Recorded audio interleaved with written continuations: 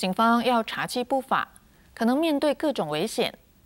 根据统计，最近五年来，有七名员警在执勤中殉职，受伤的人数更是超过了两千人。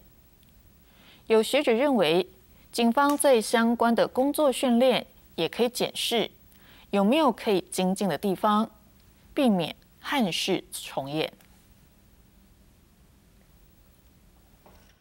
亲自赶到案发地点，台南市长黄伟哲表情很沉重，因为辖内两名员警疑似追捕赃车通缉犯，双双遇袭身亡。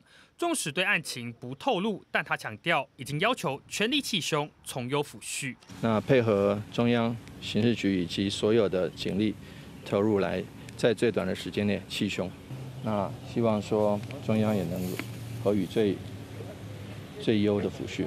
警察执行查缉不法，面对高风险，过去也曾发生袭警的重大案件，包括十七年前新北市汐止一对兄弟党趁着远警签巡逻单，持刀从背后攻击，造成警察一死一伤。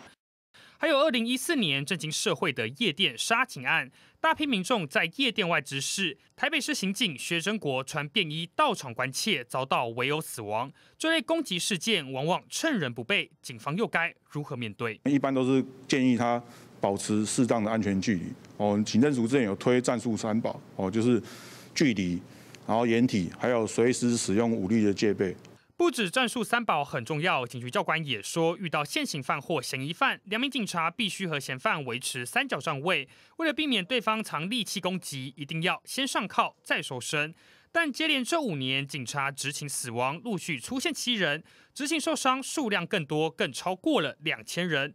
有学者分析，因为嫌犯处在绝境，狗急跳墙才会决定力搏一把。认为说，一个困兽之斗的人哈，困兽之徒，他也会狗急跳墙啊。也许他也是也是抱持了与你同归同归于尽的这种想法。遇到突发紧急情况，警方能不能第一时间反应便是，立即采取行动？